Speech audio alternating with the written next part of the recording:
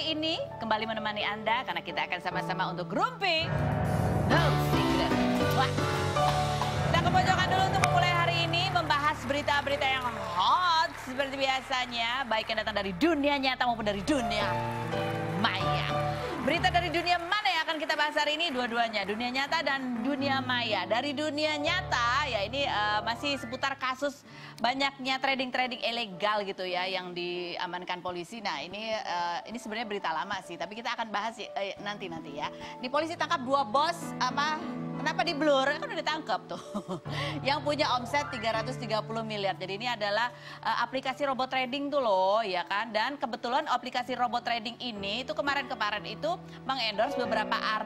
Bukan cuma mengendorse, dia juga ngasih duit, ngasih hadiah Terus alah pokoknya banyak deh yang akibatnya akhirnya artis-artis itu kemudian terseret dan uh, sudah ada jadwalnya mulai tanggal 22 itu akan dimintai keterangannya oleh pihak kepolisian sebagai saksi karena menerima aliran dana dari bos-bos si robot trading ilegal ini ya. Kenapa ilegal robot tradingnya? Satu karena nggak punya izin.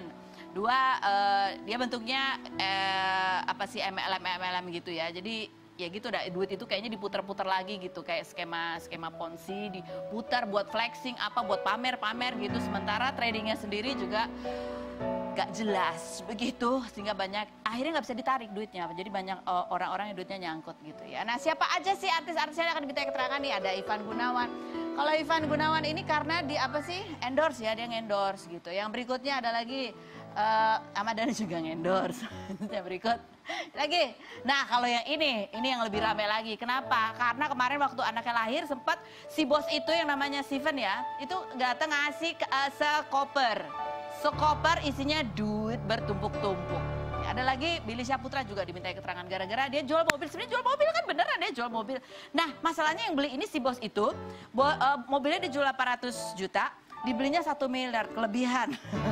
ya karena duitnya dari orang itu akhirnya dia juga kayaknya akan diminta keterangan juga begitu. Lanjut coba kita bahas yang masalah Rizky Bilar dan Lesti. Ini kan ada fotonya ini diposting di feednya uh, Rizky Bilar ya, tapi sekarang udah dihapus gitu ya.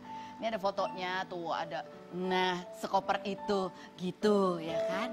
Aku sih kalau kalau dikasih duit sekoper gitu begini, aku nggak mau posting, takut ya. ini diposting, siapa yang minta nih diposting ya kan? Ini waktu itu captionnya ya.